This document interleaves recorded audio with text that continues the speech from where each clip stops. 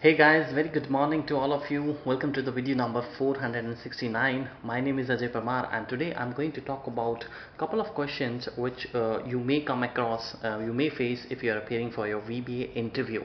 And uh, uh, so as you know that if, if you if you are not new to the channel, we have already got around 40 plus videos on the uh, you know the interviews. Uh, I have categorically actually divided you know this Excel VBA access uh, the playlist interview questions playlist into four subjects excel excel vba access and access vba if you're watching the channel for the first time first of all very warm welcome to all of you and uh, i hope that you will not be disappointed uh, while watching my any of the videos because um, it's it's always you know uh, on this channel we, we always try to try to give you the education. I always try to do my best not to just for the sake of you know getting the clicks. Uh, I try to explain the things. I try to talk on the very relevant very important topics right?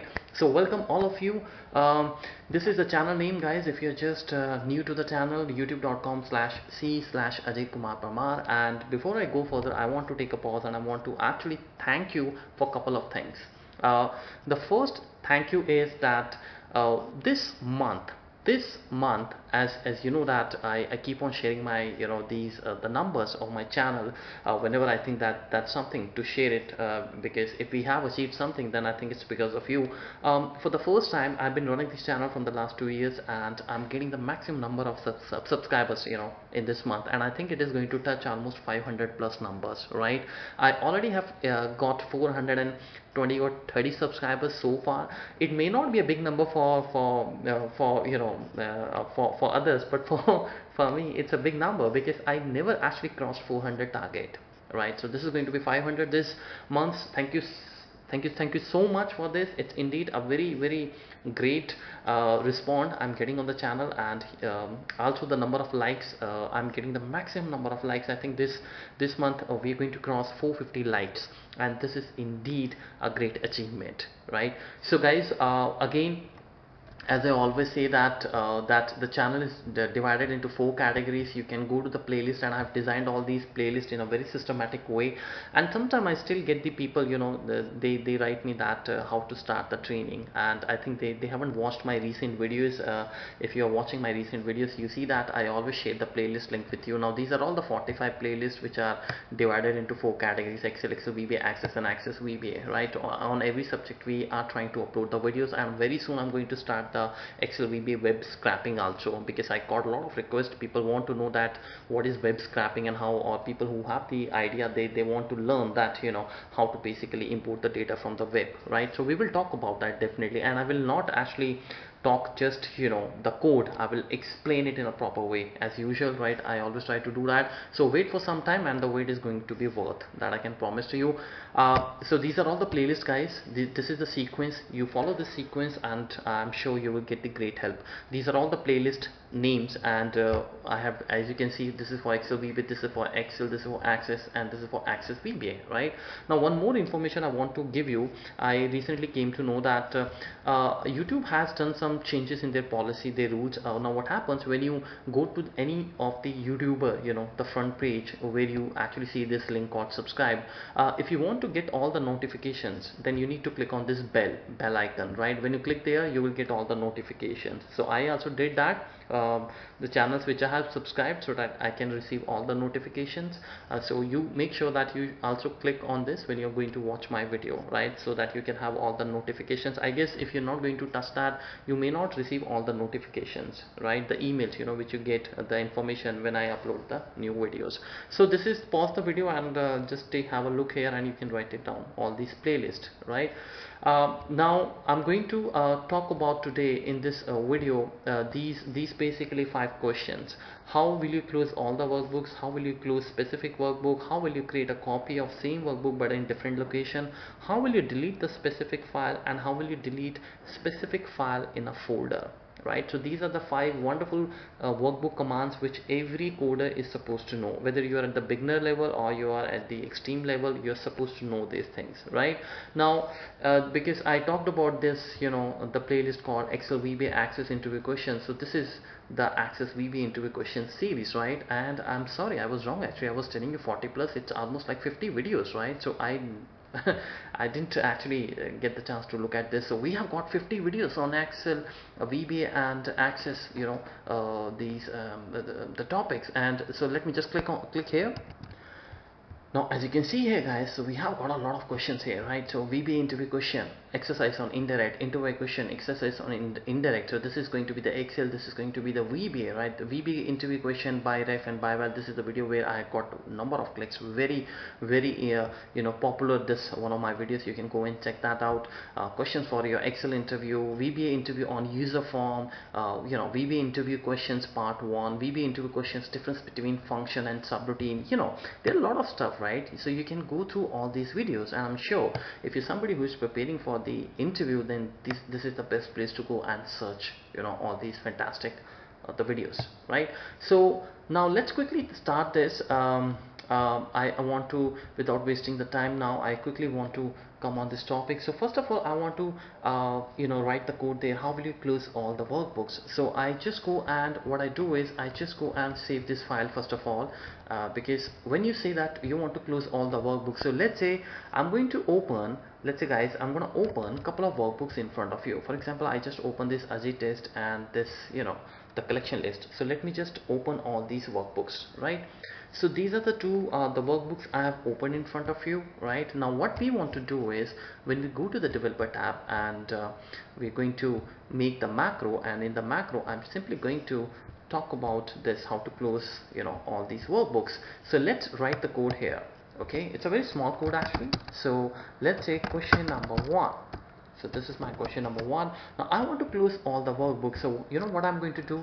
I'm going to write here for this uh, the form uh, the workbooks dot close right? So when I'm going to run this let's see what's gonna happen okay? Before I do that I simply want to save this code. So let me save the code. Okay now I want to run this. Let's see guys what's gonna happen right? Now I'm just going to you see run this and you see that everything is gone guys. There's no Excel workbook which is open. This is totally blank. This is just blank right? And if you write application dot quit you know what happens? This even excel layout will go it will disappear. So let me just go back and open that playlist because I have saved the changes. So workbook.close what do you understand by that? Workbooks.close it's it's it's a very powerful code and it it allows your this all the excel workbooks you know uh, the to, to get closed in just seconds. So remember that this is also going to be uh, negative you know it can go against uh, against you if, if you just not using it wisely right? Because of the reason that this is also going to close this file from where you're running the macro. So make sure you use this when you actually want to close everything including the workbook from where you're running the macro right? Now I also want to tell you one thing. So if you just go and you see that you write here application dot quit right now I'm gonna write this application dot quit right? And at the same time let me just open one more workbook. So let's say this is my another you know workbook. I have opened this. Now let's go back to this and let's run the code here. So I have got two workbooks in front of you opened. One is the playlist and the another one is Ajay test. Now guys I'm just going to run this. See what's gonna happen. Want to save your changes to the playlist.xlsm well yes I want to save the changes because I have just written the line. So let me just cancel that let me just cancel that and let me just uh, end the macro. And first of all let me save that. So I go here and click on the save. Okay alright. So I saved it. Forget about that pop-up. That's something my documents inspector have to change the settings there. Now we have the two workbooks and I'm just gonna hit here. Let me see that. Let me show you this.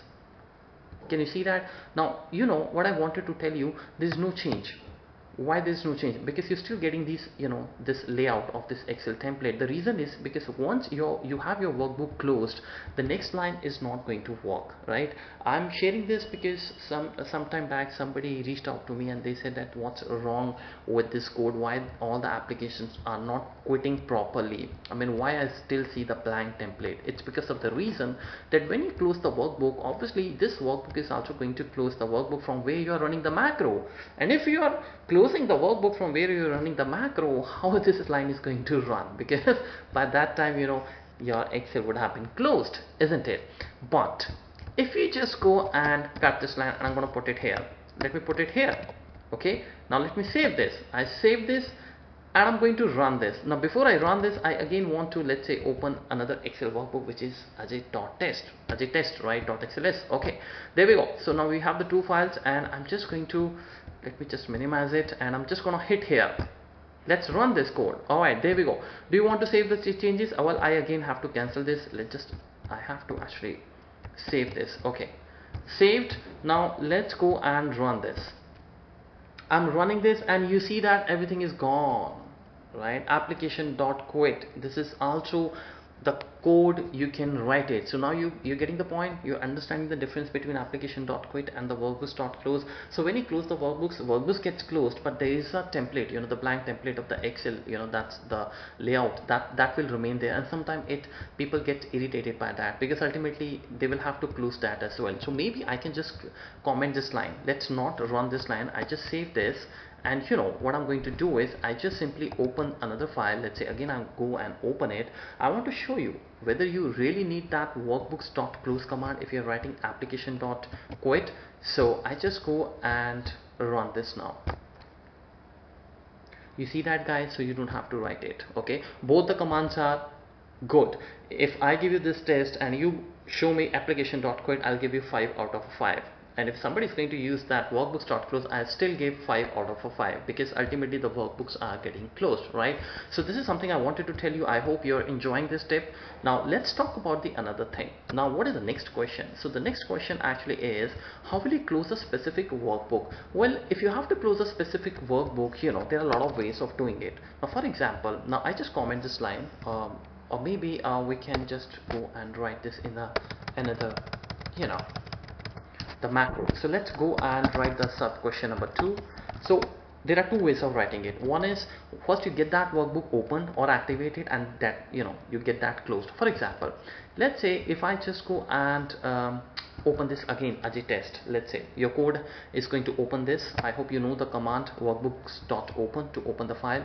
Uh, so let's say I just go and say that workbooks and then I just write the name Ajay test dot xlsx and then I'm just going to activate it right? Now once that becomes activated once that workbook gets activated you can write there active workbook dot close okay? And in the brackets you can write whether you want to save the changes or not because if you are going to work something if you're doing some changes in the as a test file then naturally it is going to ask you do you want to save the changes? Now would you like that prompt or not? If you want leave this part. If you don't want and if you want that it should save the changes right here true. Or otherwise if you don't want to save the changes just right there false okay? So so let me now run this and you're gonna see that. So now look at this uh, the first I go to the playlist that's my uh, the workbook from where I'm gonna run the macro. So I run this and you see that uh, you know this window is activated the workbook is activated I'm going to close it and this is going to close it. Perfect right? So that's how you can close this workbook. Now what is another way? Well I just can I can also copy this. Uh, let me just copy this uh, this command which is simply to you know I, let me just copy this command and I just copy this paste it here and I write here close okay? Now let me just comment these two lines. So I'm gonna run it again. So let's open that. Okay so yeah so we got the file opened and I go back to the, this workbook. We just minimize this alright so let's run this. Let's have a look here. You see that my window is playlist.xlsm the moment I'm gonna run this you see that the file is also closed. So the, as such there is no need to activate it. You do the active you know activation only when you want to do something. Maybe you want to copy the data from there you know sort of that stuff. But if you don't want to do anything you can close this in this way right? Both the options are correct guys okay so let's go to quickly to the next question. How will you create a copy of the same workbook in different location? Well let's say this is my playlist and I want to create a copy of it right? So how you how you can do that? So this is going to be my question number three. Now so this is my this workbook as you must be knowing it. So you can also write here this workbook dot save as and then you can give the path d drive. Let's in the d drive I want to just save this as ajay.xlsxm right? Xlsm so if this is something I, I do then what happens the workbook this file is right now saved on my desktop. But the moment I'm just going to save it then what happens this is going to be saved with the name called ajay.xlsm on my D drive. So that's how you can do that. And then later also you can I mean close it. You just need to write here this workbook dot close. So you just write it close right and you can see that true I'm not going to close this but I'm just telling you right? So let's quickly run this line. So this line is going to run. Now this is when I always press save you know this uh, document personal information comes but you may not see this option. So this is not this has nothing to do with the VBA now I don't want to close this so I just go and run this macro like this. Okay? So let's go to my this D drive and I'll show you if we have got that file the same file with that name. So I go to my document uh, sorry it's going to be on my D drive. So here I go in the D drive and I think the file is here you can see here this is the file right?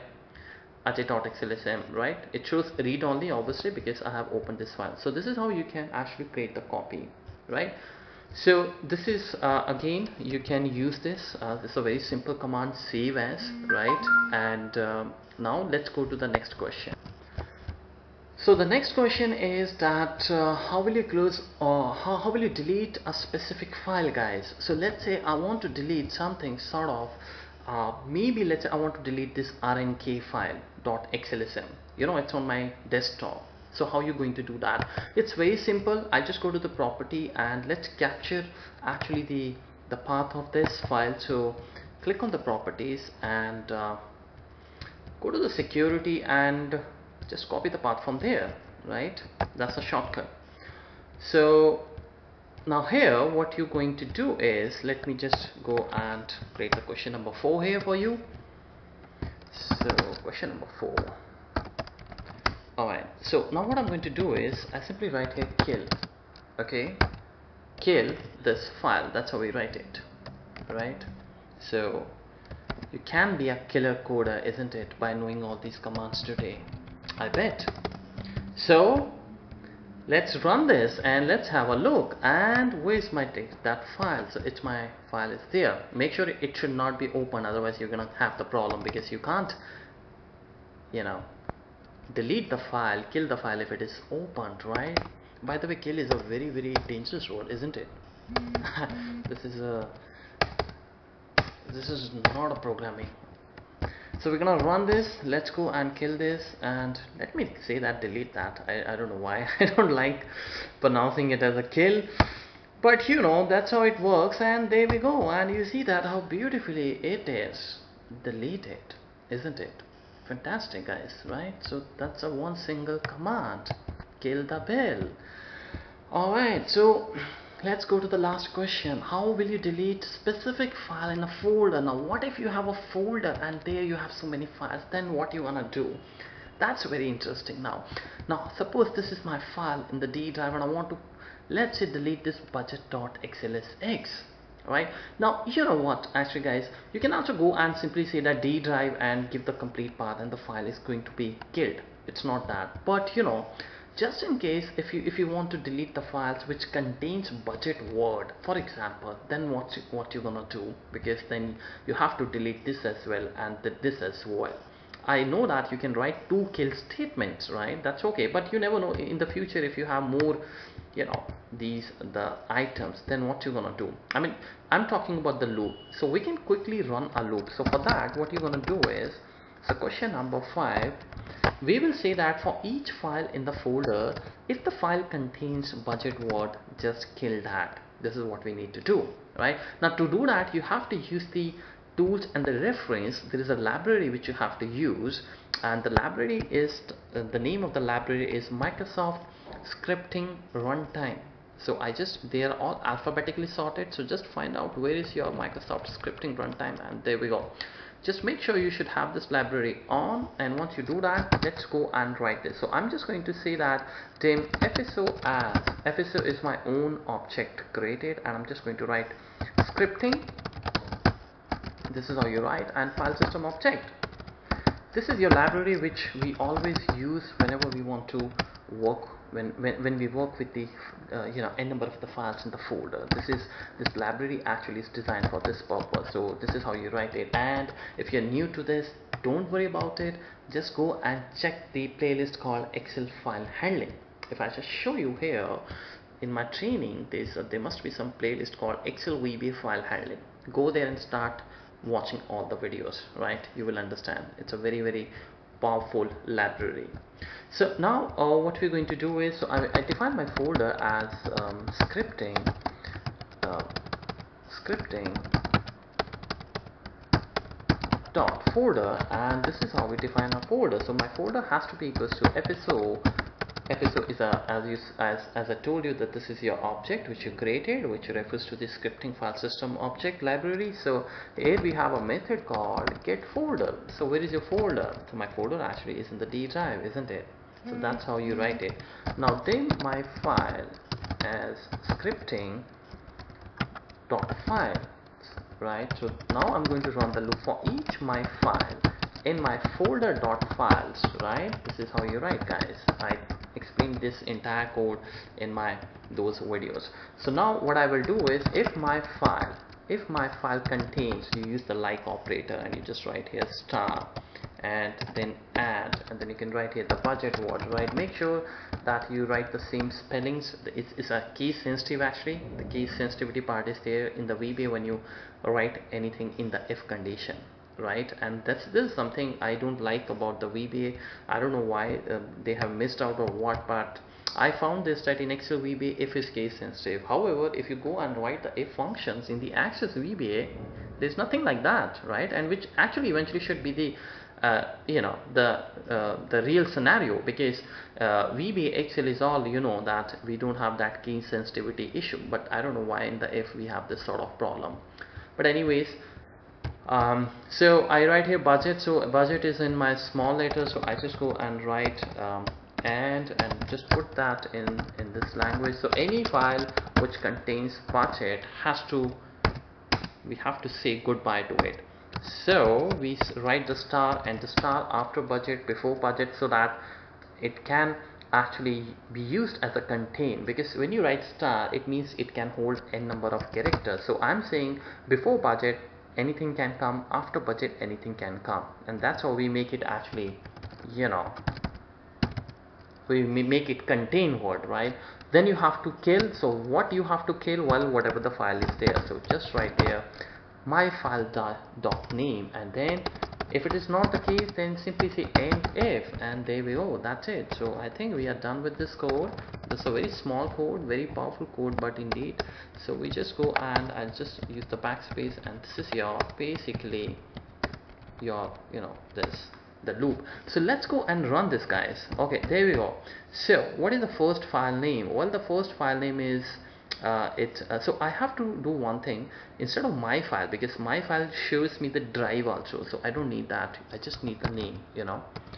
We don't really bother about the drive because we have already defined that my folder is in the my folder is D drive and the loop is going to loop through all these files in the D drive. So we're just interested in knowing the file. This is A so obviously we'll go in the else okay what about the next? It's Ajay so again it will go in the else. And then B. Then budget. Okay there we go. Now you can see that it's gonna kill that file. So have a look here. This is this should be removed. All right. File not found. That's very interesting. So what what's wrong here? So let me just click on the debug. So I want to see that what's wrong with this. Okay so I think I got the problem. The problem is actually the file name is coming but that you know you have to actually give the uh, the driver also the name of the drive. So uh, what we can do is we can simply prefix folder with this you know like in this way. Uh, because I know my folder is D drive so I can use the folder like this. And let me see that. Now the folder is D drive and this, this is my file name. So when when these two are going to be concatenated it's it should be D drive backslash and the budget.xlsx let me run this. Alright there we go. I got it. And you see that the file is gone. So let me just quickly run this again the another file which is budget1 and now you see that guys it is also removed. So let's just go quickly and run this because I know that nothing is going to be deleted now. And there we go. The macro finishes right? So that's it for now guys. I'm not gonna take much of the time. Just two things to request that you know share this channel with uh, with all those people who want to learn excel excel vba access and access vba let's make it a big big time success.